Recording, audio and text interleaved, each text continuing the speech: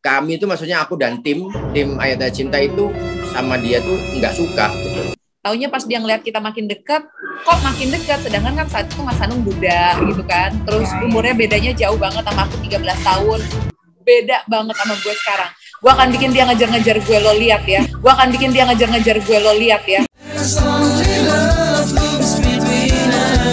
There's only bond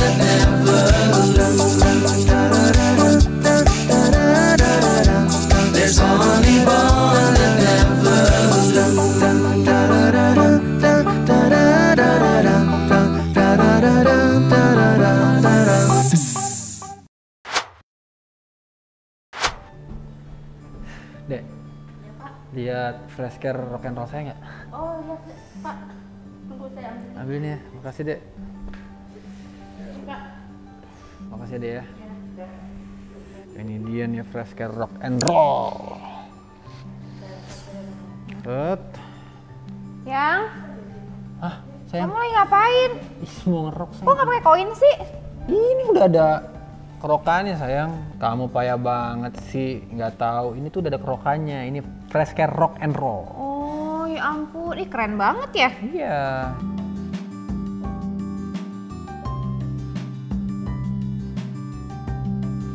Nah, kamu lihat ya, ujungnya bulat, full, jadinya nggak perlu pakai koin lagi. Iya bener loh, ini kayak koin, lucu Iya. banget. Ya udah kalau gitu sini, aku aja yang kerokin kamu.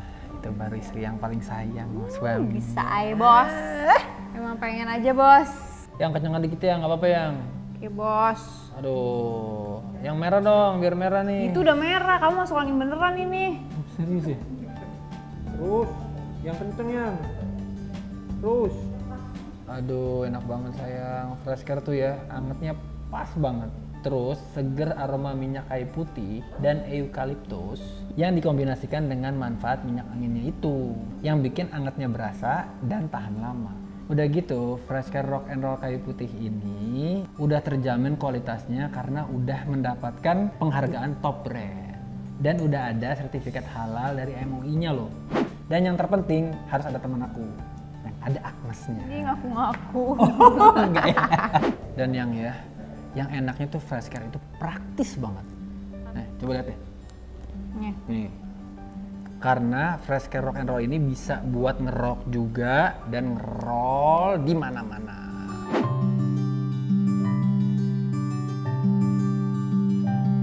Jadi ini bisa di roll di mana-mana. Oh. Eh tapi setahu aku yang kalau nggak salah Fresh Care Rock and Roll ini ada varian lebih panas deh. Iya, iya, ya bener-bener. Nah, jadi buat teman-teman semua nih, kalau suka yang panas, kalian bisa pakai Fresh Care Rock and Roll yang varian hot. Panasnya mantap buat ngerol.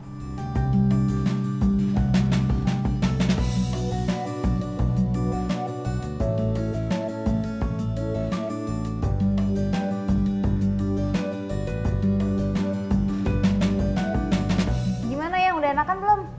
Lumayan sayang. Enak ya? Tapi sering-sering ya. Ah, kayaknya aku juga pengen deh. Aku agak-agak pusing. Aku juga kalau misalnya pusing-pusing gitu cocoknya cuma pakai fresh care doang. Hmm, wanginya enak banget.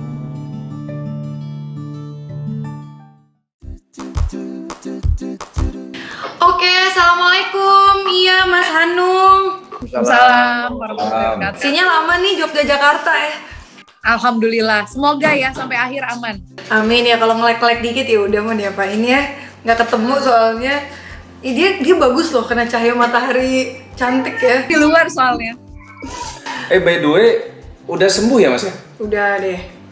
Alhamdulillah. Berapa hari mas? Eh, lima hari. Jadi berapa berapa lama ininya isomanya? Semuanya 10 hari, 11 hari. 11 hari ya. Ya alhamdulillah. Bismillah ya. Nggak ada yang kenal lagi ya. Insya Allah, amin. Kamu kenapa bisa kenal lagi sih? Waktu itu kenapa?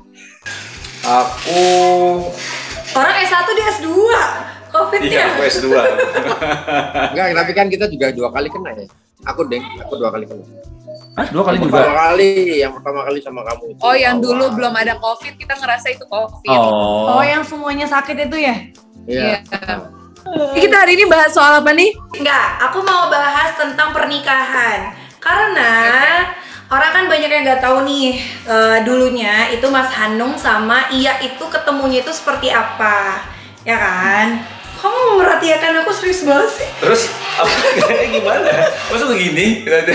Kamu lagi ngomong. Masih?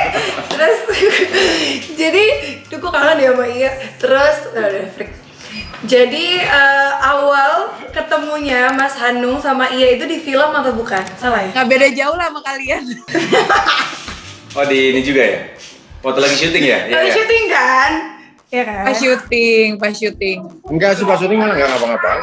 Iya mau mau ngapain? Enggak, bukan, bukan bukan kemudian lirik-lirikan, bukan terus kemudian Wah, aku Enggak. benci banget pas syuting sama dia. kan biasanya kalau kalau kalau misalnya cinlok gitu kan berarti kan misalnya berangkat syuting bareng terus pulang syuting bareng gitu kan. Itu kalau terus di di tempat syuting ngobrol ketemu ngobrol habis dari habis dari take selesai misalnya atau lagi persiapan ngeset kan terus ya ngobrol akrab gitu kan. Ini nggak ada. Nggak ada sama sekali. Oh. jadi sebetulnya kalau mau di, dibilang ketemunya Ayatnya Cinta kenal di Ayatnya Cinta. Oh. kenalnya itu di Ayatnya Cinta tapi setelah itu berujung Ya cinta. posisinya itu posisinya itu justru kami kami itu maksudnya aku dan tim tim Ayatnya Cinta itu sama dia tuh nggak suka. Hah? Kenapa tuh? karena ke- Iya. karena masuknya dia ke tim Ayatnya Cinta tuh maksa Maksa? maksa maksa untuk main gitu. Oh gitu. Iya maksa untuk main tadinya tuh pertama pertama karena eh, apa ya waktu itu pokoknya Pak Manoj ya Hmm. kan? Pak Manoj sebagai produser itu pokoknya meminta agar Saskia bisa masuk ikut main gitu kan. Oke Eh, nggak apa-apa namanya juga produser kan. Produser kan memang punya privilege untuk bisa memberikan apa a- a- a- pemain calon pemainnya tuh harus harus di tangan produser karena dia punya kepentingan untuk jualan apa segala macam gitu kan. Akhirnya kita pilihkan dia main main. Dia karena melihat mukanya Saskia sangat Sunda ya kan sangat Jawa lah itu gitu kan Jauh. eh kok sangat Jawa sangat Indonesia, Indonesia. sangat Indonesia maka kita plotkan dia jadi Nurul waktu itu yang waktu itu dimainkan oleh Melanie Putria ya, ya. Oh. gitu. Jadi Nurul. Tapi Nu Melanie Putria udah reading, Oh. udah kita udah udah kita pilih dan udah wah udah udah reading lah intinya gitu Iya. kan. Dah, nah tiba-tiba yang waktu itu yang belum dapat itu peran Aisyah Hmm. itu. Nah terus tiba-tiba manajemennya dia itu langsung memotret dia pakai cadar, terus sampai sampai ini apa namanya mempropos kita itu Saskia itu ada keturunan Jerman gitu loh. Aisyah itu kan apa namanya Indo Jerman gitu kan kayak Saskia itu keturunan Jerman apa Duh, pusing gitu kan. Ya itu pokoknya maksa harus mau nggak mau harus main. Nah usut punya usut ternyata yang meminta Pak Din Samsudin. Oh.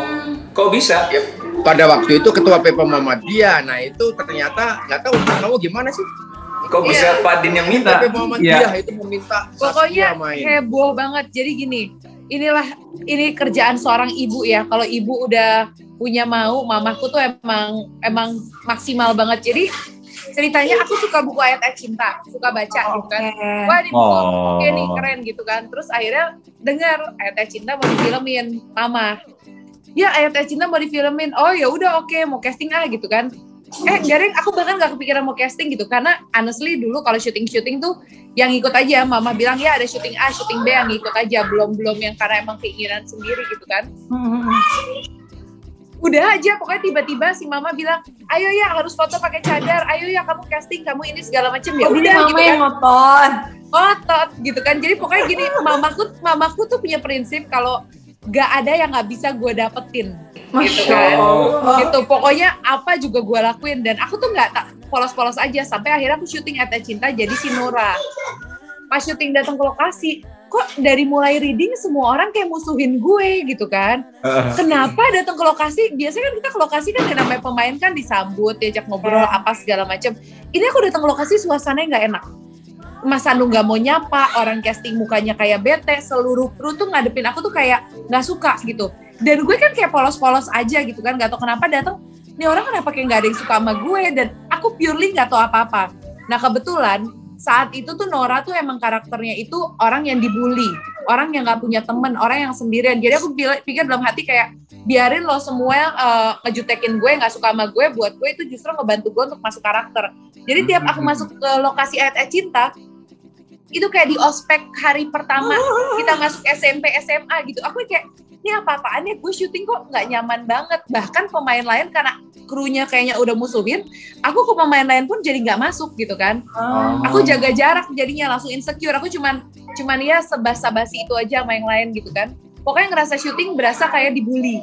Nggak tahu kenapa. Cuman aku nggak mau menyelesaikan masalah itu karena aku pikir oh ini menguntungkan aku nih karena karena karakterku kan seperti orang yang sendirian apa segala macam. Cuman hari terakhir syuting karena udah hari terakhir kan, udah saatnya kayak gue harus menyelesaikan karena aku orangnya juga sebenarnya bukan yang kalau ada masalah diem aja, pasti aku selesaikan, aku cari masalahnya kenapa.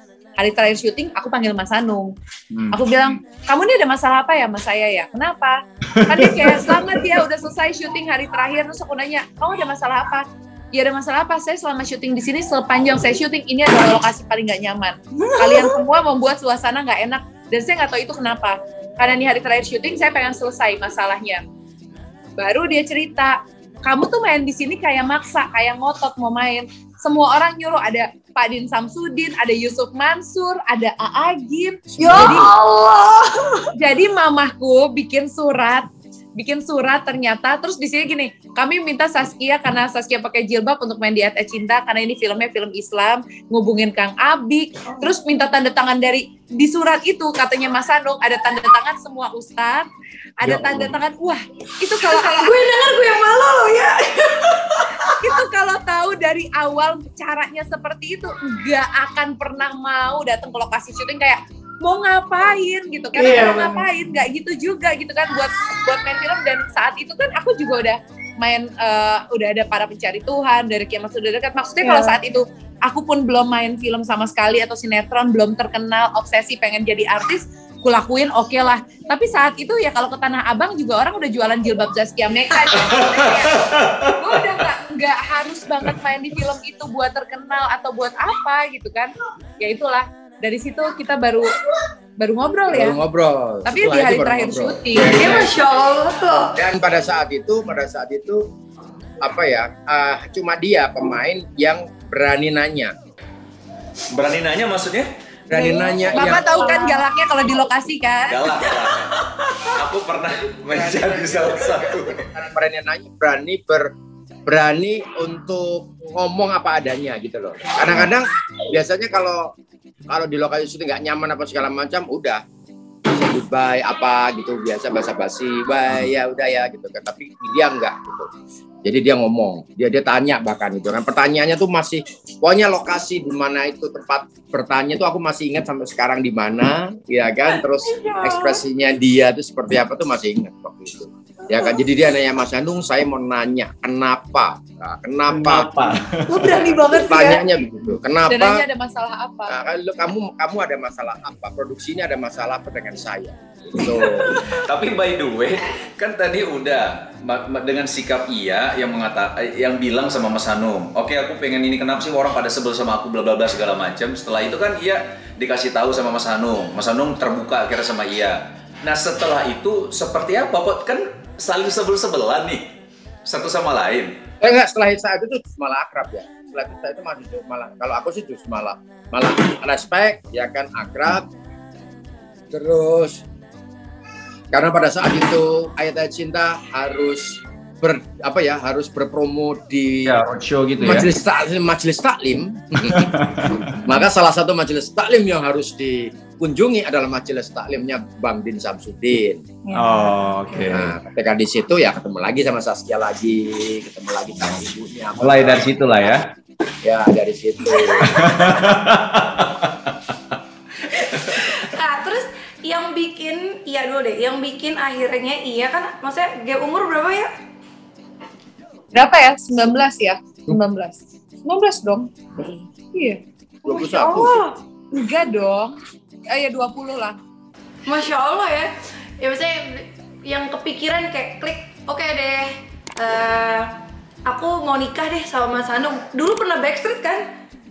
Eh, Backstreet karena sebenarnya bukan Backstreet ya, karena em, Backstreet? Backstreet. Backstreet ya. Backstreet Enggak, bukan- pokoknya pokoknya setelah tadinya tadinya tuh hubungan aku sama Saskia akrab sama ibunya akrab apa segala macam, tapi ternyata ketahuan, ketahuan bahwa aku punya mau gitu loh. Ketahuan aku punya mau bahwa aku kepengin kepengin dalam dalam tanda kutip kepengin serius. Iya, tadinya sih baik-baik aja. Baik-baik aja. Cuman karena kan aku ada deket sama A, sama B, sama C gitu kan. Maksudnya deket sama yang lain yang mungkin lebih seumuran, belum pernah nikah. Tadi mam- mas- mama ngeliat Mas Anu ya biasa aja kayak kayak teman film, sutradara apa gitu kan. Taunya pas dia ngeliat kita makin deket, kok makin deket. Sedangkan kan saat itu Mas Anung muda gitu kan. Terus umurnya bedanya jauh banget sama aku 13 tahun.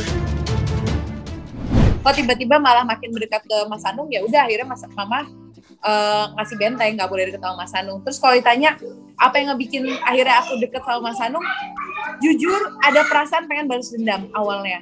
Jadi ada perasaan gak terima selama lo udah ngebuat gue nggak nyaman selama dua bulan gitu kan.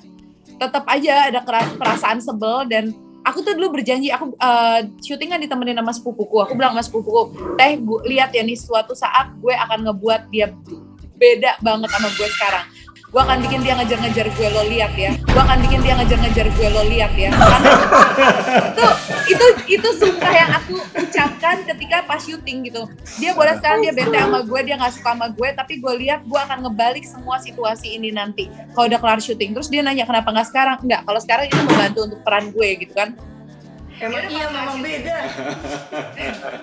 Pas kelar syuting dia ulang tahun, aku kirimin kue, terus aku kasih perhatian, aku deketin, aku apa gitu. Pas udah selesai masalahnya aku deketin, terus pas dia udah mendekat, mendekat aku aku mundur. Jadi kan awalnya ada perasaan pengen, ada pengen perasaan balas dendam. Mas Anu tahu nggak sih dengan apa yang ia ini tahu?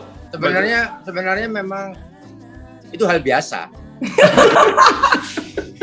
Sejujurnya itu hal biasa. Oh, Cuma waktu itu, cuma waktu itu ada Fajar Nugros. Ini Fajar Nugros sih yang biangnya semuanya itu adalah Fajar Nugros. Kenapa dia? Dia sebenarnya tahu ada permainan ya. Dia tahu, kamu tahu ia mem- memainkan itu. Tahu, tahu, memainkan itu tahu. Tapi Fajar Nugros, Mas ini wah, wah ini apa Panas-manasin ya? lagi ya kapan lagi pacaran sama bintang gitu kan muslim lagi gitu kan ah apa sih apa sih gitu kan. Ah, Pokoknya hati- ah hatinya, intinya pokoknya itulah pokoknya intinya Mas Anung lagi galau. lagi galau terus ya aku kan bermain-main dengan itu karena saat itu aku juga lagi deket sama orang gitu bahkan Aduh. Iya ngeselin banget ya.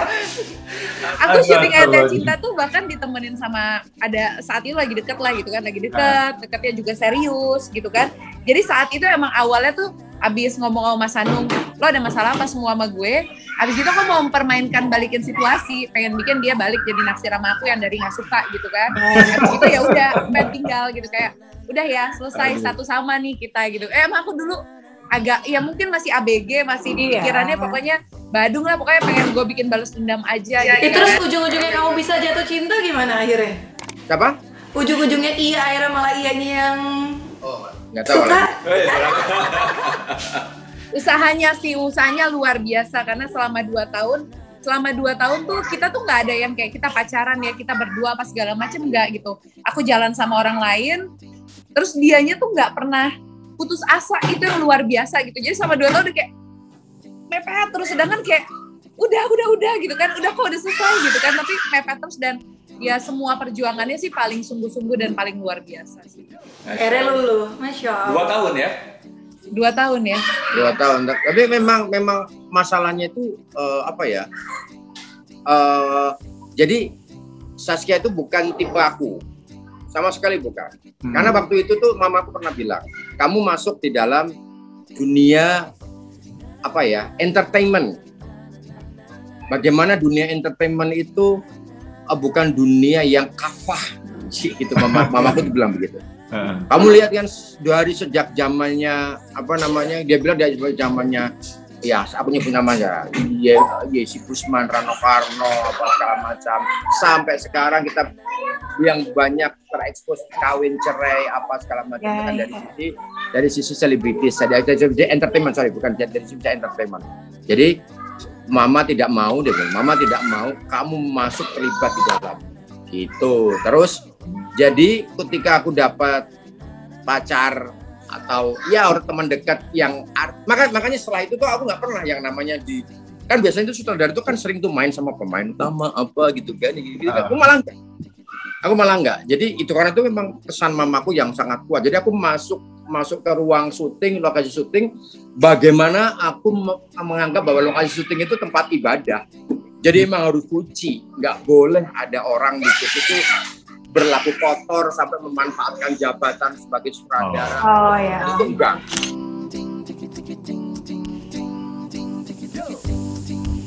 Kan. Makanya aku kan kalau di di lokasi kan bener-bener strength banget gitu kan. Karena memang ya aku tuh sebenarnya sangat radikal gitu. karena memang aku menganggap itu tempat suci gitu kan, tempat iya. suci gitu kan. Jadi yang aku butuh ya gitu kan sehingga melihat Saskia sama sekali nggak kepikiran, bener-bener nggak kepikiran gitu loh bahwa eh ngasih ngasih apa namanya Kue. kue kue ulang tahun apa segala macam hmm, oke ya kan oke ya mungkin karena memang karena memang pada saat itu memang ya posisi sutradara. Ayat itu kan lagi meledak meledak meledak meledaknya pada saat itu kan. Jadi biasa betul-betul biasa. Apalagi pada saat itu yang deketin aku juga banyak. Cie. bener Iya, yang iya, deketin aku juga banyak. Jadi intinya di session ini nggak ada yang mau kalah, yang satu banyak yang deketin, yang satu banyak sebetulnya sebetulnya tapi memang poinnya itu ada di ada poinnya itu ada di Fajar Nugros Fajar Iya, iya. Nugros itu selalu Mana-mana sih ya. ah ah macam belang ya. banget ya kan? Nugros tuh pokoknya tengah-tengah. Nugros tuh sekarang sutradara apa ya dia yang paling paling? Iya aku tahu, aku tahu Fajar Nugros, aku tahu banget. Dilan, Dilan dia kan? bukan bukan Fajar Bustomi kali itu Fajar Bustomi Eh, Busan Bustomi, beda. Iya, sorry, sorry, sorry. Kalau. Nugros ya Dilan eh Dilan kan. Yos West Band Ya pokoknya Oh, dia iya, di tengah-tengah West kita Band, dia iya. yang ngotot. Jadi dia yang ngotot dia yang narik-narik hubungan kita dia narik Mas Hanung, dia narik aku. gitu Ya tiba-tiba dia, ngirim dia Mas Hanung ke kantor, tiba eh, ke lokasi syuting di dalam mobilnya dia udah nyiapin ada steak lah, ada apa, ada keranjang. Mas Hanung datangnya mobil itu udah disiapin sama Nugros. Nanti Mbak Iya ada ini ini dia jadi dia yang ngajarin aku gimana nge-treat seorang perempuan Wih, Jadi kayak. Kemarin Saskia ngasih roti ulang tahun. Ini dikasih dong ini apa kesukaannya apa? Kasih surprise mas. Boro-boro yang namanya surprise sama orang gitu kan. Itu benar-benar benar-benar Fajar Nugros nah lama kelamaan aku menikmati itu Oh. ya kan aku menikmati itu tapi terus pada saat itu selesai kan syuting Ayata Cinta syuting Ayata Cinta banyak sekali masalah ya kan Hmm. ternyata selesai eh nggak cuma selesai menjadi film box office Iya. Ya Masya Allah. pertama yang mendapatkan 3 juta penonton itu Ayata Cinta. Nah saat itu juga aku dalam posisi langsung oke itu kan lo udah nunjukin semua kekuasaan lo kepada gue sekarang. Nah sekarang izinkan gue balik gitu. Hmm. Ketika aku bilang balik, langsung aku pulang ke Jogja, aku langsung minta maaf sama mamaku, minta maaf sama papaku. Saat itu juga kebetulan mamaku mau umroh, ya kan? Nah, aku akhirnya umroh. Nah, di situlah perjalanan umrohku di situ. Itu adalah perjalanan betul-betul perjalanan hijrah lah istilahnya. Masya Jadi Allah. sebelum kalian semua hijrah, waduh. gue udah Jadi model begini udah hijrah ya, kebayang waktu Hijrah, belum hijrahnya kan. Eh itu hijrah dong. Kan Nah, di hijrah itu kan saat perjalanan, nggak apa-apa dong. di saat hijrah ke Mekah itu, maka kemudian ada hajat. Gitu loh. Ada hajat. Hajatnya apa? Adalah hajatnya adalah pertama soal rumah tangga. Ketika rumah tanggaku gagal, maka kemudian aku akan akan berumah tangga dengan yang baik dan ini untuk terakhir kalinya aku akan begitu. Ridhoilah aku ya Allah. Itu di depan hajar aswad itu maksudnya. Tapi siapa pun yang kau pilihkan kepadaku, aku akan terima.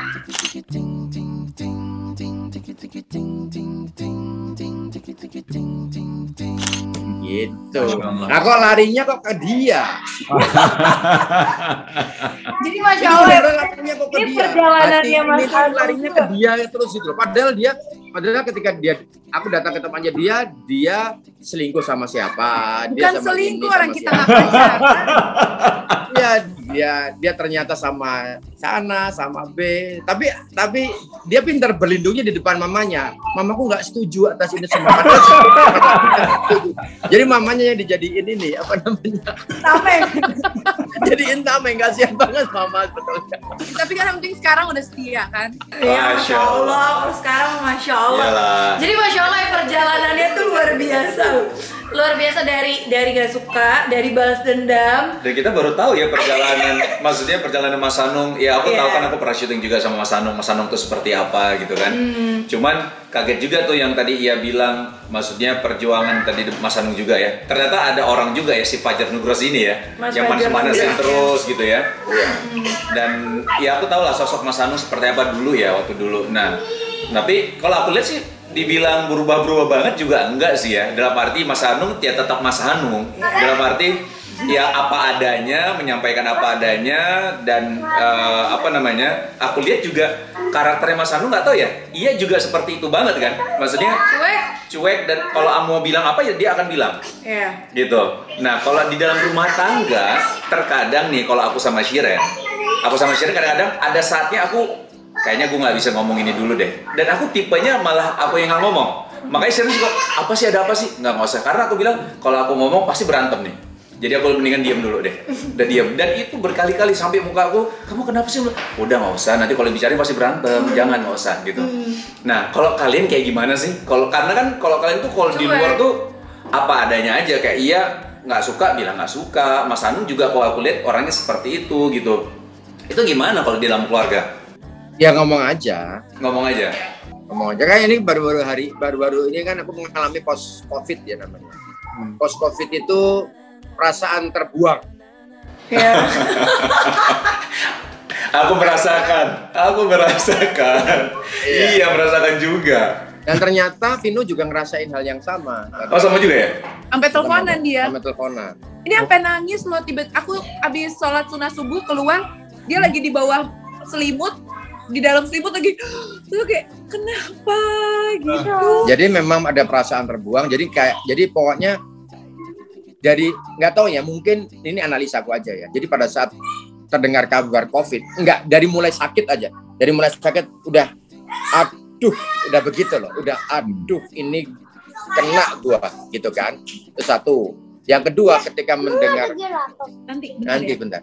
Nah, eh, ketika melihat tesnya positif itu udah langsung kayak kita itu kan kayak pasien lepra gitu. Pasien Karena nggak bisa dijenguk sih ya. kayak kusta. Jadi langsung wow. Pokoknya dirinya langsung oke gue kena oke. Ya akhirnya akhirnya gue langsung gue gue gue berpenyakit gue penyakitan nih gue penyakitan. Gitu.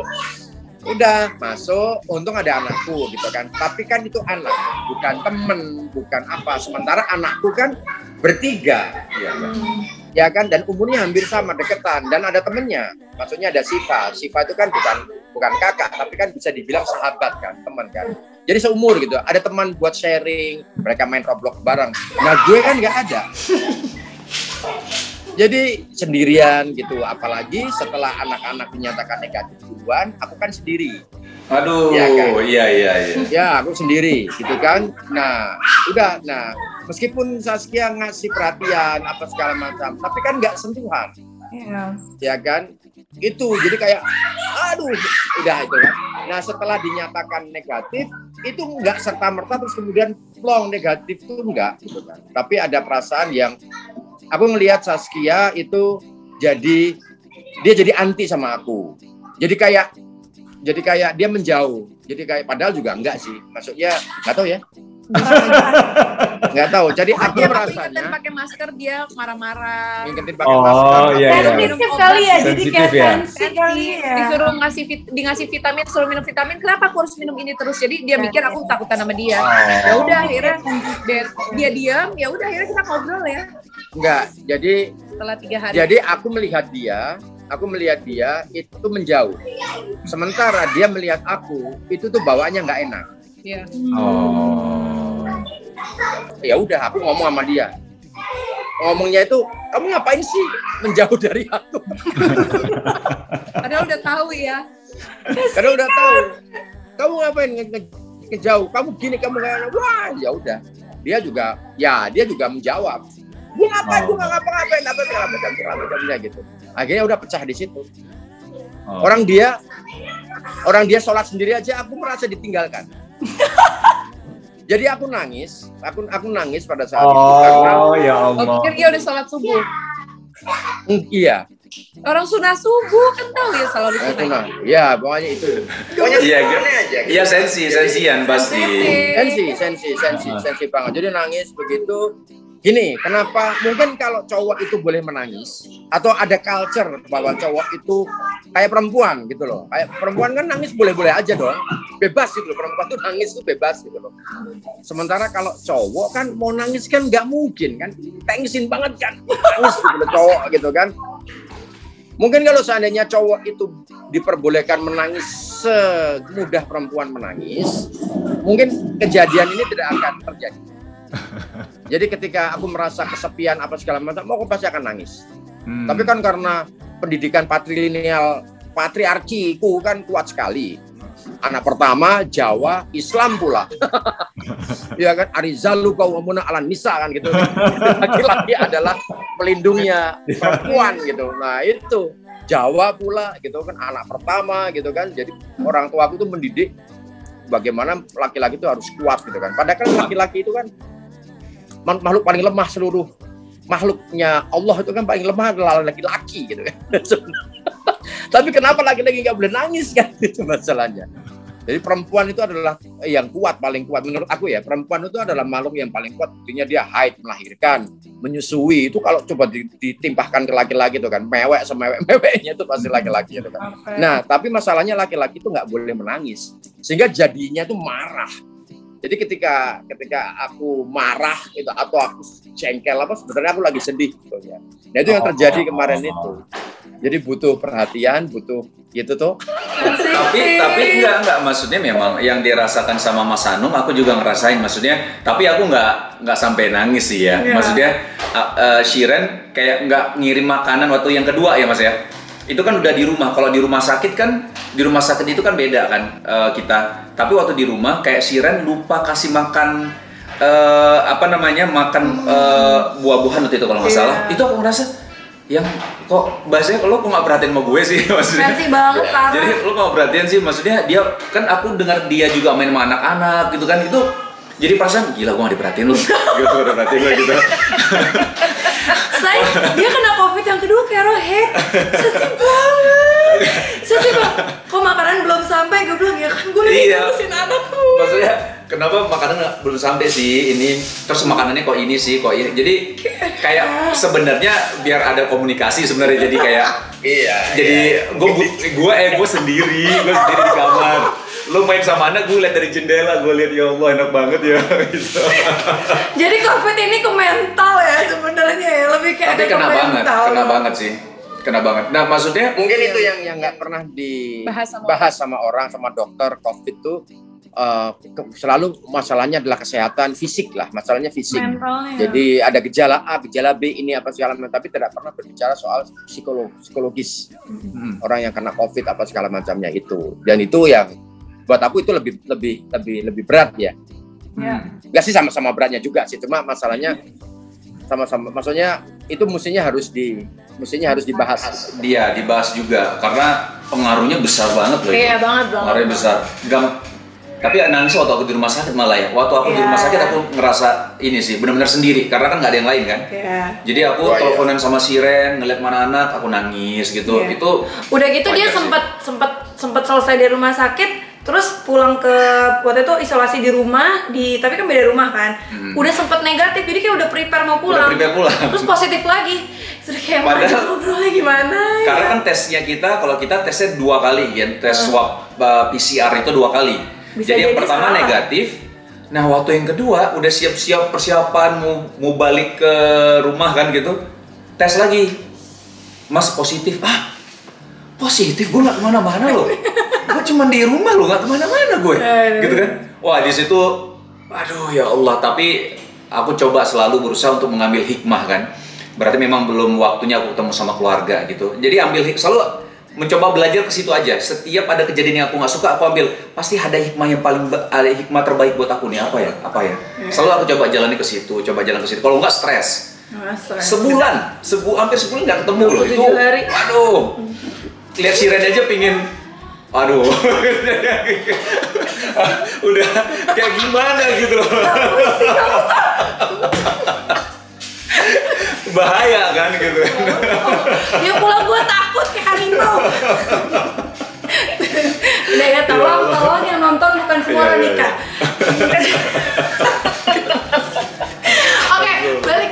Anung kan jadi ngomongin kita. Mas Anung sama Iya ya. Dari awal pernah kepikiran nggak punya anak banyak?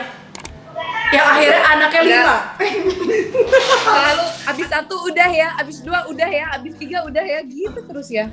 Iya, cuma masalahnya kan dia memang nggak bisa pakai apa kontrasepsi whatever lah apa. Pakai namanya. spiral gitu, Spiral, eh, nggak nyaman. Iya terakhir kan lo pakai spiral sakit kan? Pernah pendarahan juga, Iya. jadi udah nggak mau pakai lagi. Terus Mas Anu sempat mikirin karena aku nggak nyaman dengan KB-nya, akhirnya dia pikir "Ap- aku aja deh yang mau di steril kata dia gitu kan. Serius dia berpikir begitu. Iya, aku sempat berpikir begitu. Nah.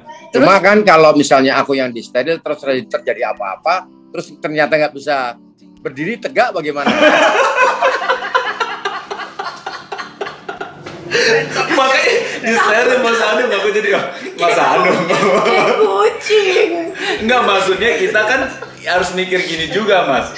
Ketika di Udah, udah, udah. Gue tahu otaknya ke mana.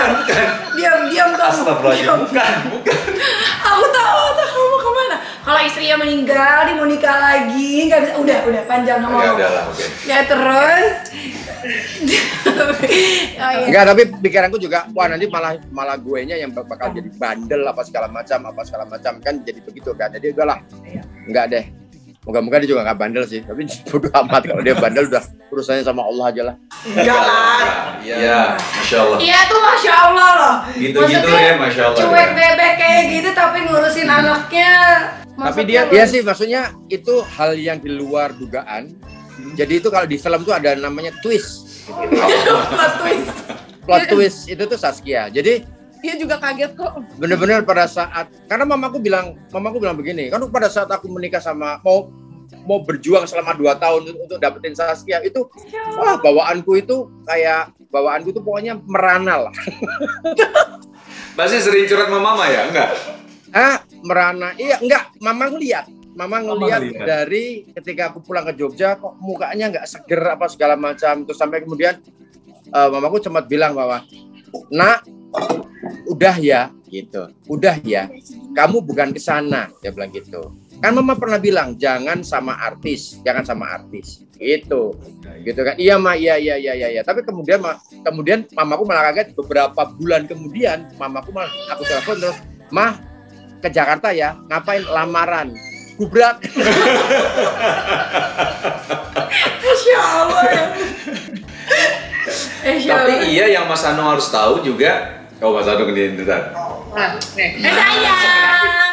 Mas Anung harus tahu juga kalau iya bagaimanapun secuek-cueknya iya kalau waktu kita di Beriman ya Ya. itu tuh kalau cerita ya itu eh Mas Anung ini Mas Anung ini maksudnya dalam arti yang aku tangkap adalah ia itu walaupun cuek tapi dia sangat mencoba untuk mengikuti suami gitu loh Banget, banget, banget. Nah jadi dari situ aja sebenarnya ya ya kita tahu kan kalau misal seorang istri itu ya selain taat kepada Allah taat kepada suami kan. Nah itu aku dari situ aja ngeliat. nah dia- itu nggak itu nggak terlihat pada saat paca- pacaran nggak terlihat Iya nggak terlihat dong mas. saat nggak mau nggak terlihat sampai kan kita kan selalu punya pemikiran ya maksudku pemikiranku kan pemikiran awam lah Oh, ya.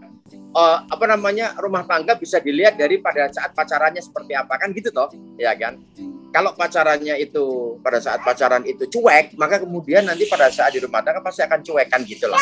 Ya, oh ternyata beda banget gitu ya pas nikah. Saya beda.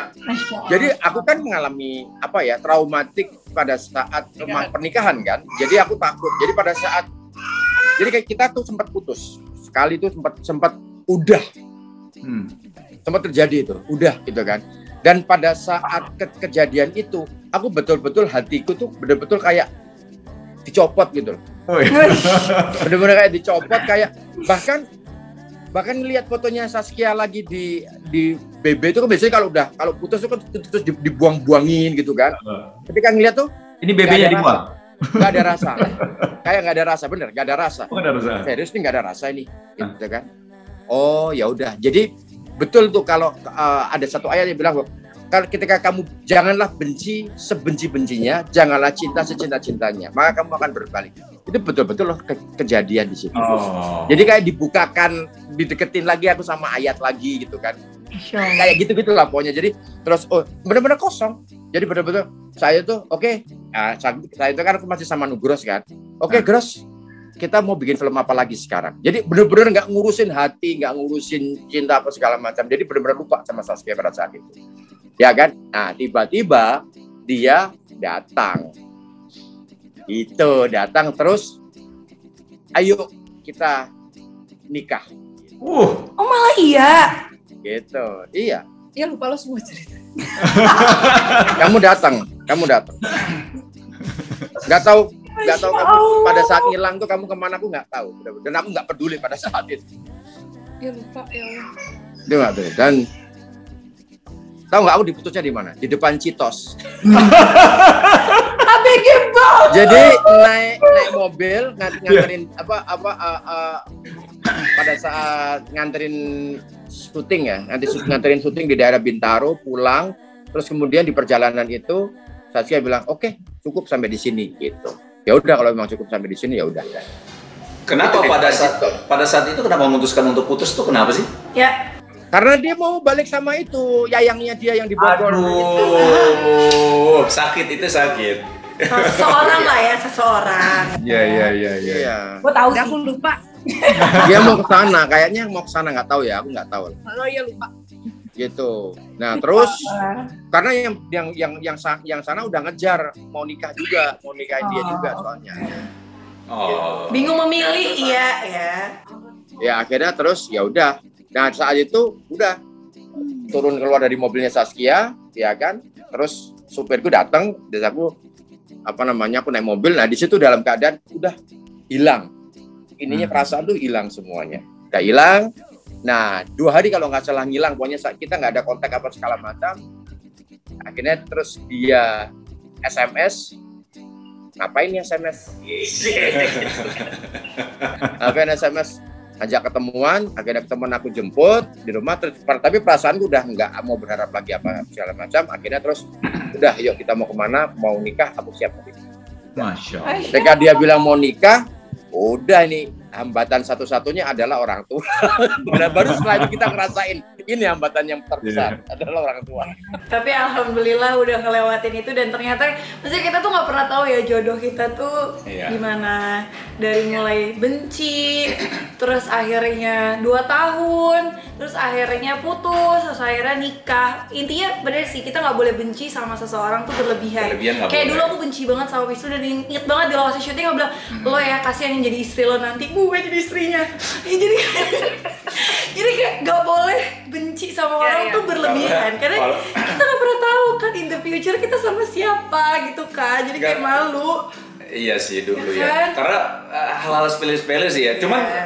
ya berantemnya juga gara-gara maksudnya karena dia kan udah kontrak ya. Karena dia masih sekolah, jadi kontraknya jam 12 tuh harus pulang. Dan aku tuh selalu ngerasa nggak boleh ada yang dispesialkan di dalam set produksi. Semua tuh harus sama.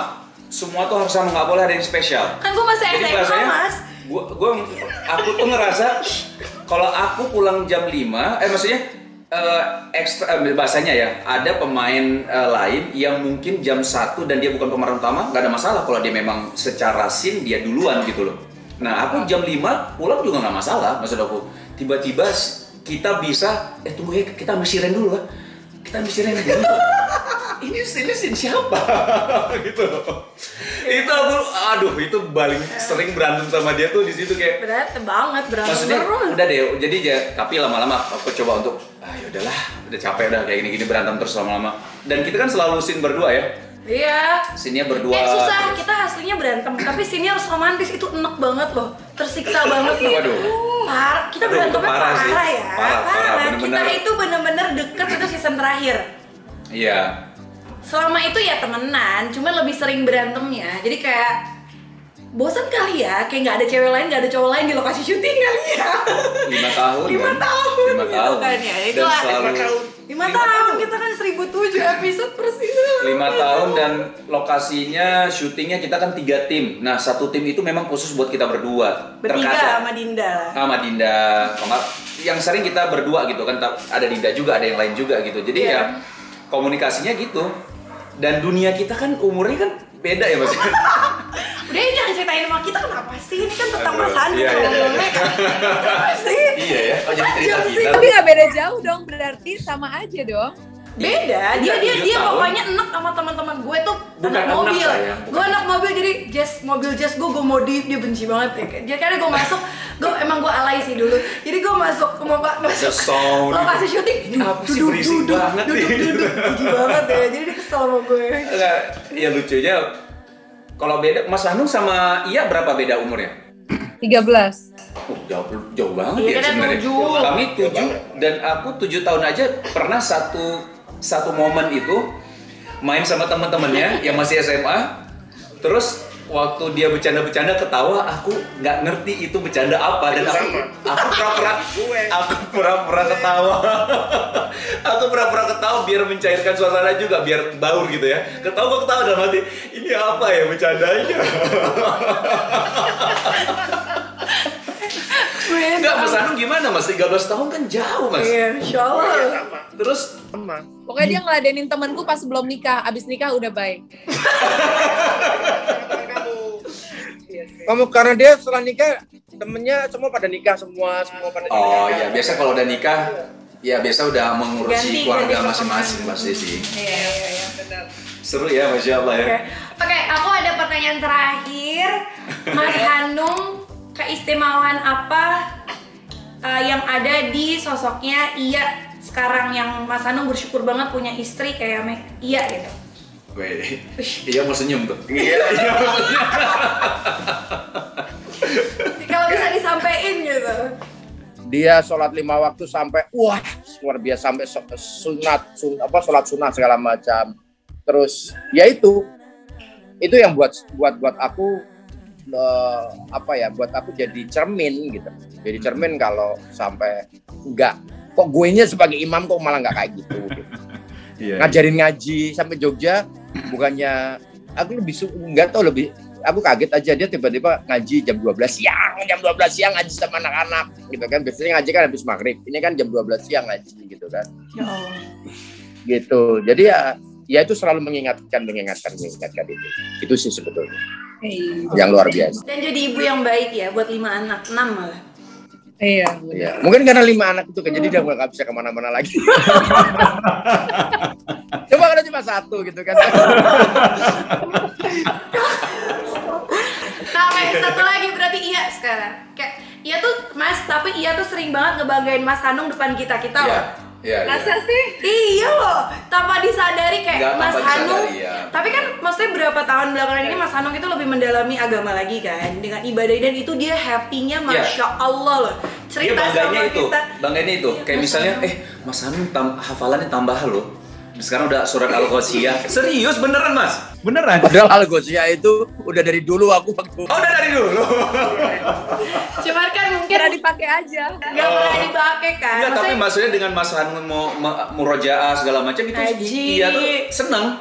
Seneng dan cerita. Kalau cerita sama kita berarti kan ada sesuatu yang eh eh tahu nggak tahu nggak maksudnya kayak gitu gitu. Iya, iya, iya. Terus terus kalau iya gimana? Maksudnya bisa lo kasih uh, tahu ke Mas Hanung gitu yang paling spesial buat Iya sebagai Mas tuh sebagai suami Iya.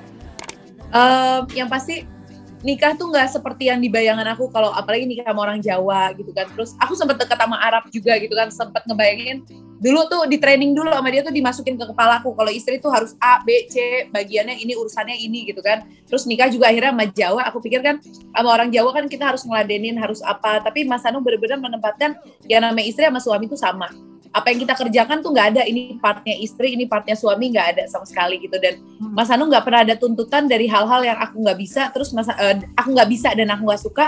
Mas Hanung menuntut aku untuk melakukan itu nggak gitu. Jadi dia bener-bener terima aku ya apa adanya aja. Apa ya apa yang aku apa yang aku nggak suka apa yang aku nggak bisa dia yang ngisi di situ. Jadi ngerasa bener-bener pernikahan ini bener-bener seimbang nggak ada siapa yang lebih kuat siapa yang lebih ini nggak jadi benar-benar ngerasa apa ya jadi nggak ada persaingan di sini nggak ada siapa yang harus lebih didengar jadi aku ngerasa punya tempat banget gitu jadi nyaman aja Nyaman, itu kata kuncinya. Nyaman. Nyaman. Dan Masya Allah Mas Hanung waktu aku ke Jogja, Hah? anaknya deket banget sama Mas Hanung. Iya, masya Allah. Iya. Oke, Mas Hanung, iya, makasih banyak. Makasih mas. Makasih Thank banyak you. waktunya. Sama-sama. Mohon maaf sudah mengganggu satu jam ini nggak kerasa ya. satu setengah jam Satu setengah Eh, satu setengah jam jam. ya Baru satu setengah jam, baru satu setengah jam. Baru satu setengah jam. Makasih ya, maafin ngeganggu kayak banyak banget sebenarnya kayak aku ngerasa aku udah dekat sama Iya tapi kayak gue nggak tahu apa-apa deh soal Iya, hubungan Mas iya, betul, sama Iya. Karena mungkin ketemunya kan pas udah married kali ya. Jadi kan Iya. kita dan kita tuh pertemanan kita nggak pernah kepo masalah suami istri masing-masing ya kita tuh kayak gak pernah Iya. nanyain masalah Iya, internal mas- banget gitu kalau emang teman kita nggak mau Cerita ya ya. udah kalau cerita baru kita terima gitu Thank Ya. you, thank you Mas Anu. Makasih, Mas Iya, Anu. kapan-kapan Makasih. kita jalan-jalan bareng depan Citos waktu Mas Anu putus ya. Jangan dong. jangan, jangan. Lebih baik kita ke Jogja ke Mamake yang bau ra- baru restorannya baru buka. iya ditunggu ya Sukses ya. Insya Allah. Makasih ya. Makasih ya, jangan sensi lagi ya. Assalamualaikum. Salam. Nah itu dia teman-teman kita ngobrol sama Mas Hanung, Iya ya Zaskia Meka, masya Allah ya. Lucu ya, lucu banget deh. Kita nggak ngerasa sekarang memang aku udah kebayang lucunya karena dua-duanya cuek. Iya. Ngomong akan bakal apa adanya akan Betul. ngomong gitu. Jadi Insya Allah kita nanti akan next akan ngobrol juga sama teman-teman yang lain dan pengennya sih ketemu sih ya ngobrolnya tuh pengen ketemu cuman kalau dengan kondisi seperti PPKM. ini ya Mhm. kondisi seperti ini jadi kita akan by zoom by zoom aja jadi mohon Oke. maaf kalau ada sedikit gangguan-gangguan nge-lag ataupun Tapi secara gambar ya ya. secara gambar juga eh, agak nggak sebagus kalau kamera kan Iya benar. Insya Allah semoga setiap ya kita eh, ngobrol sama teman-teman yang uh, yang uh, yang ya, yang, ber, ya punya pasangan ya intinya ya yeah. suami istri itu mudah-mudahan ada inspirasi inspirasi untuk keluarga kita juga ya. Amin. Thank Sampai ketemu. You. Bye.